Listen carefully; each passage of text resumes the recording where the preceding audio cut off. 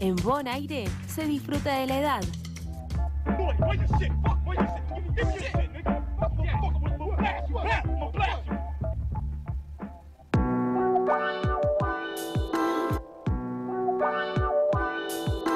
Ya no sé si vivo, ya no sé si pienso, no sé si esto está escrito o es un freestyle del momento o un pasatiempo. Así lo veo, pero por las circunstancias tengo que ganarme un sueldo y tanto peso sobre mi pecho. La mierda que me tira, no devuelvo, la pinto en cuadernos donde canto lo que vivo. Si vivo para escribir y escribo para estar vivo. ¿Y quién me manda lo que necesito o lo que quiero? Fíjate en lo tuyo, amigo. Perdón si lo que digo te ofende. Mostra tu cara tranqui que lo mío es diferente. Tantea gentuza que comió mi mesa. Hoy quiere cortar mis piernas o cobrar por mi cabeza. El 38 y la ruleta está en la mesa. Y aunque apueste, a mí no me toca en esta vuelta.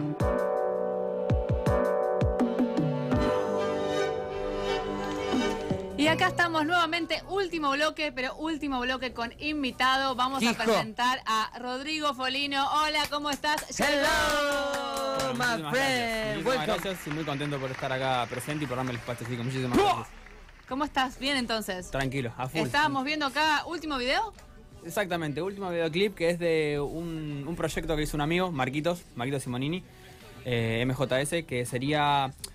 El canal de YouTube sería eh, Rap Session MD Cubo. Mira, Es, digamos, 15 artistas locales de la escena del rap, cada uno con un video como el que están viendo ahí. Yo, lo- digamos, inauguré el, el proyecto. mira, el primero. Claro, el primero de todos, el primero de todos. Bueno. Y también Rompió. cada uno va a tener una entrevista, digamos, eso es un proyecto.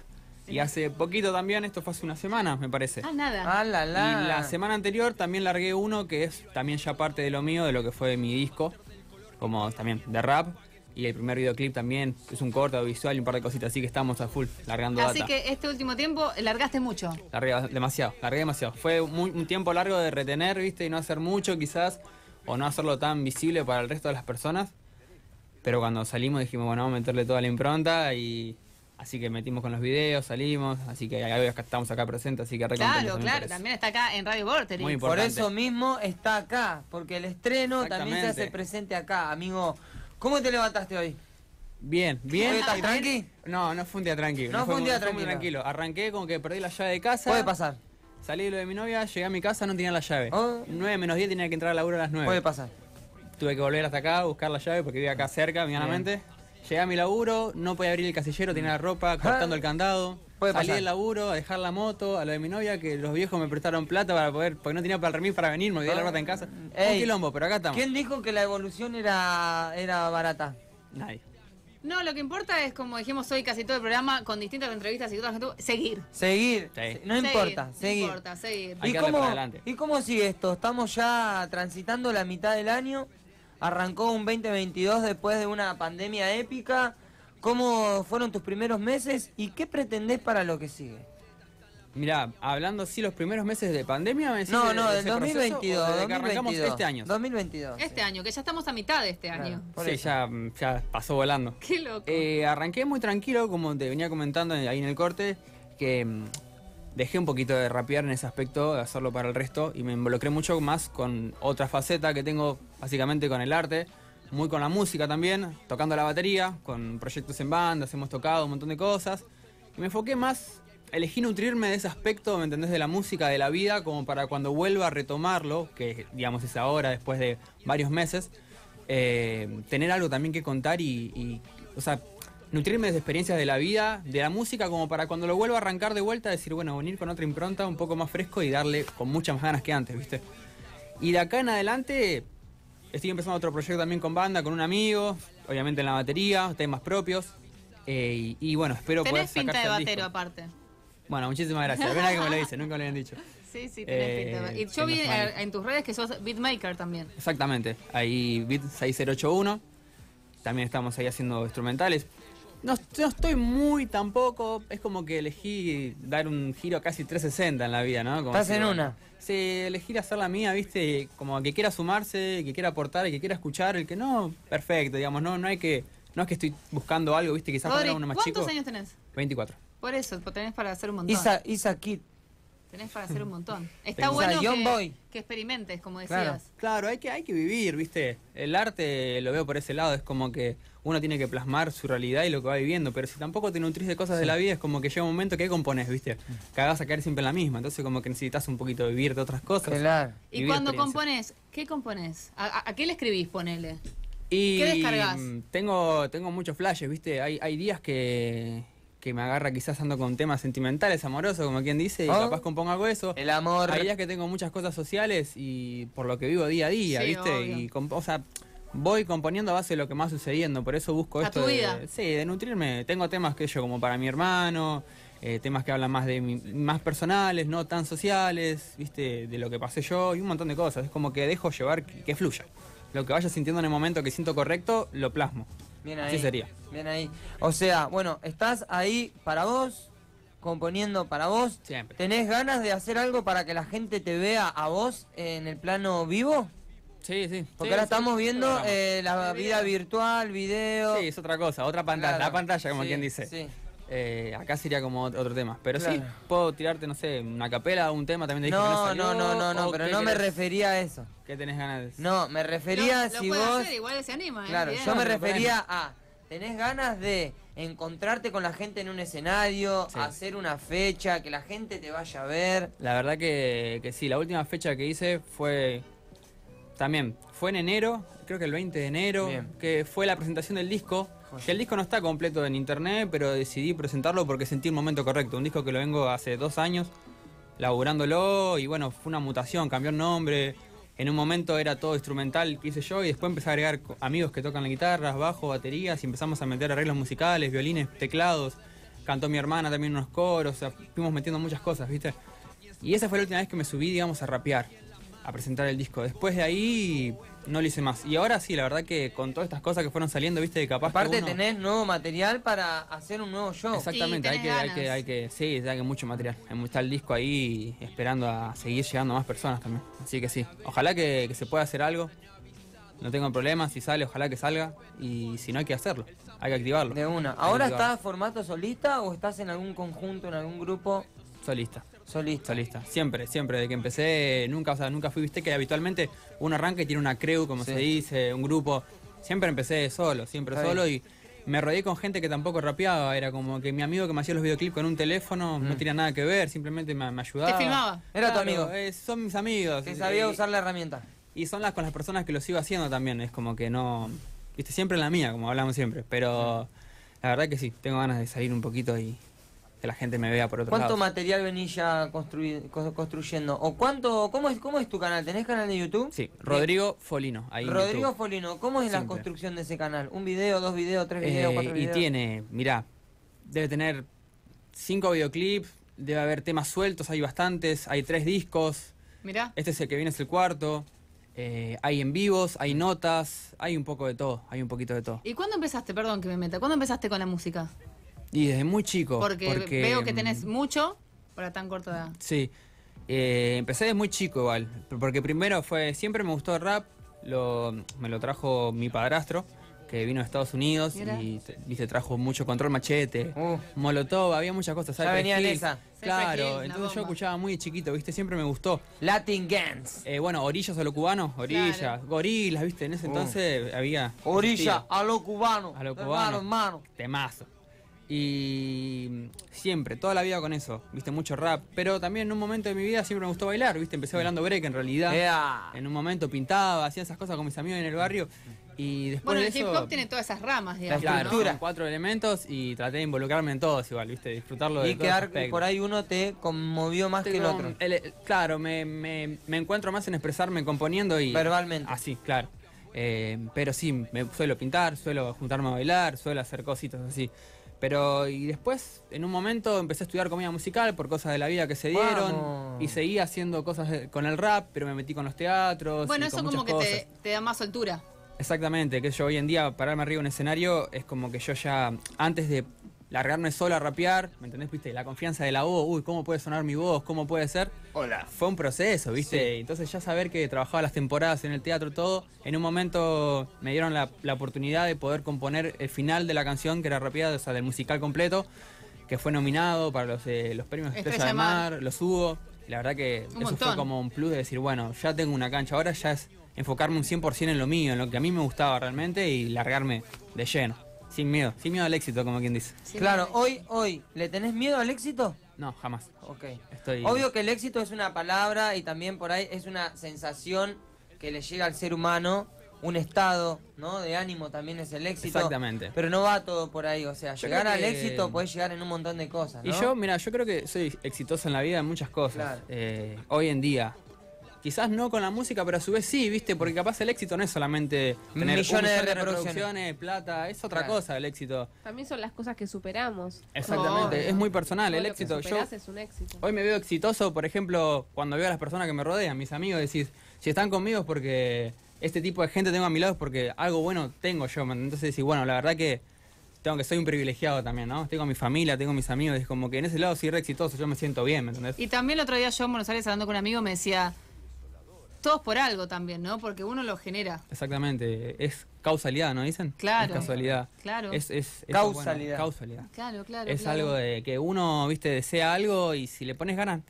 Porque una cosa es desearlo y decir, uy, quiero tenerlo, y otra cosa es que si inconscientemente lo seguís deseando hasta que lo lográs, ¿me entendés? Llega un momento que eso te lo chocas.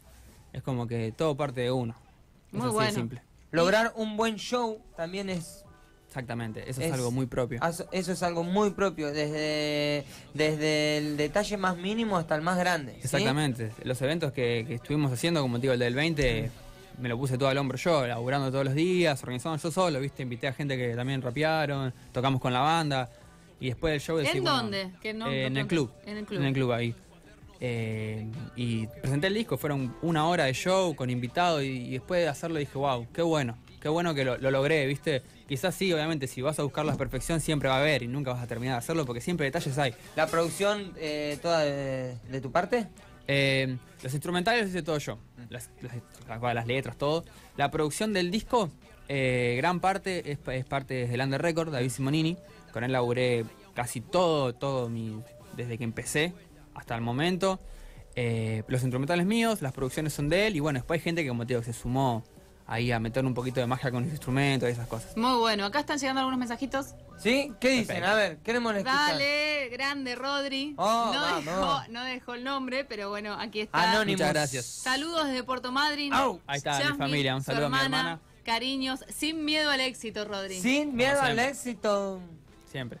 ¿Qué te gustaría que te pase en un futuro cercano? Con respecto de la música estamos hablando. ¿no? ¿eh? Respecto de la Pueden música- pasarte un montón de cosas que te pase, pero Sí. musicalmente Eh, tengo algo que, que siempre pienso, que Sí. lo- no sé si a corto plazo, si esperemos lo que pensás, sí. ya está. Está, Acá, sí, primero. siempre está. Ya hay Yo un pasito hecho. O sea, la, la- la voluntad está. Sí. Lo que espero, por lo menos, es poder, como te digo, viste, ser exitoso en el aspecto, en este aspecto también de decir, bueno, que llegara más gente y que más gente me siga, ¿no?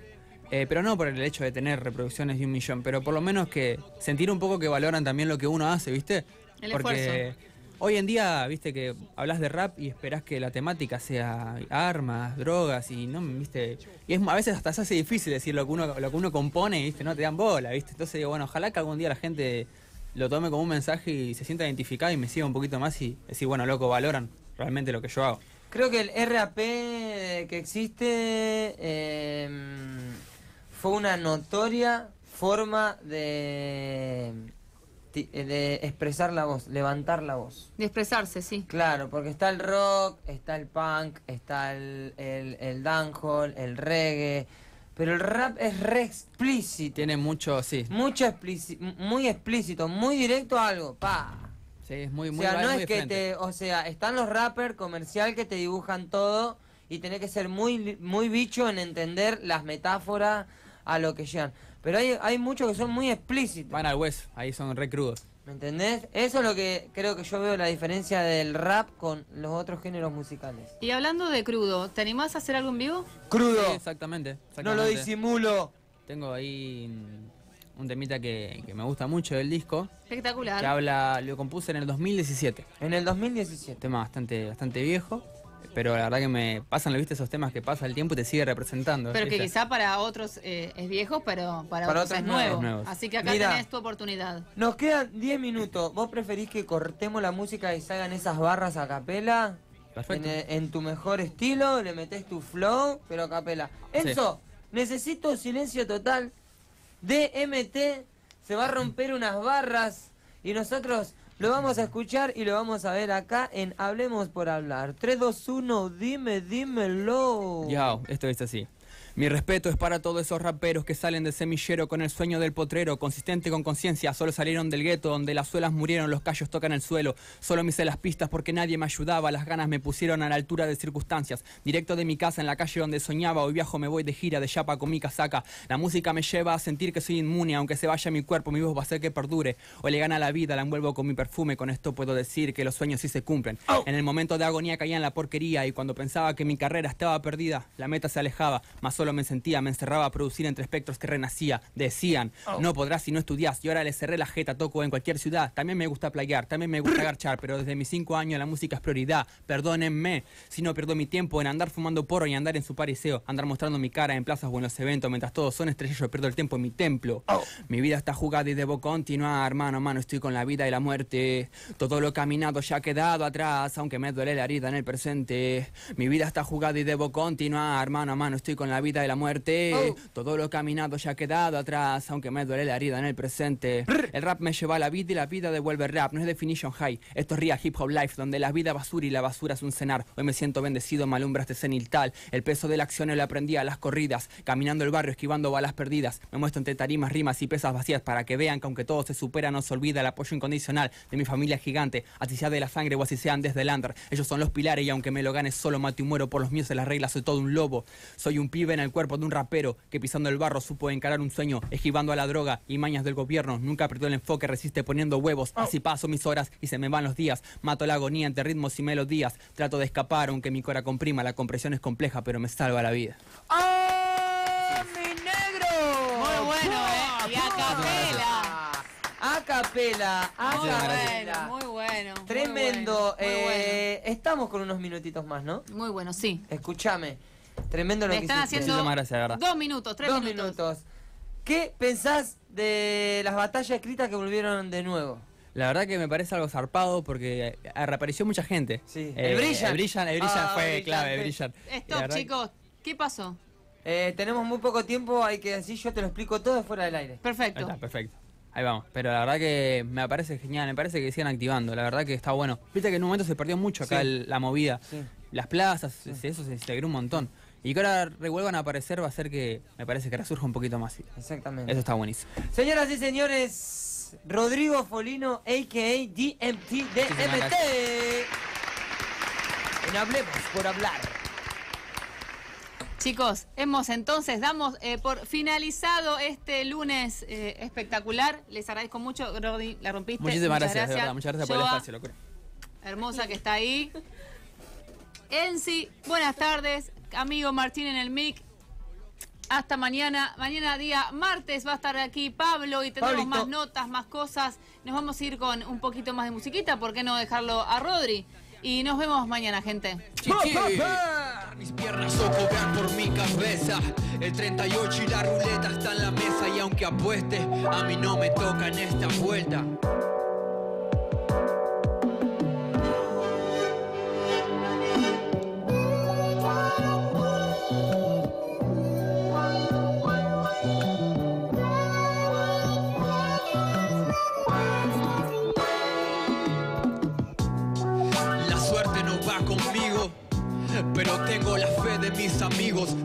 Sueño dando un motivo y ahí pego un brinco. Me doy paso a ser libre para poder ser yo mismo. No estoy encarcelado, ni en su cuento de trapo, ni con su furia en la mano. Tengo lo mío y todo esto es de mi agrado. Hice más que ustedes y no pasé del primer año. Que me perdone Dios si les hice algún daño. Es que todo fue egoísta, muy bastardo. Y les dije que iba a ser lo que amo. Calavera no chilla, ya están avisados. Si vengo de los 90, one, two. El sample es mi vida y lo pego sobre este loop. Miro al cielo, noto que no es azul. Va a ser del color que quieras mientras no apagues tu luz. Son sueños sembrados en destello. Estoy más que contento con un plato y solo un techo. A veces creo que no es tan así. Tan solo con poder rapear me siento más que feliz. Hablamos diciendo y hablamos contando. Hablamos riendo. y emocionados. Hablamos a los gritos y susurrando. Hablamos de nada y hablamos de todo. Hablamos entre nosotros y hablamos con ustedes. Los esperamos mañana a las 16. ¿Para qué? Para que hablemos por hablar. En vivo por Vorterix Mar del Plata.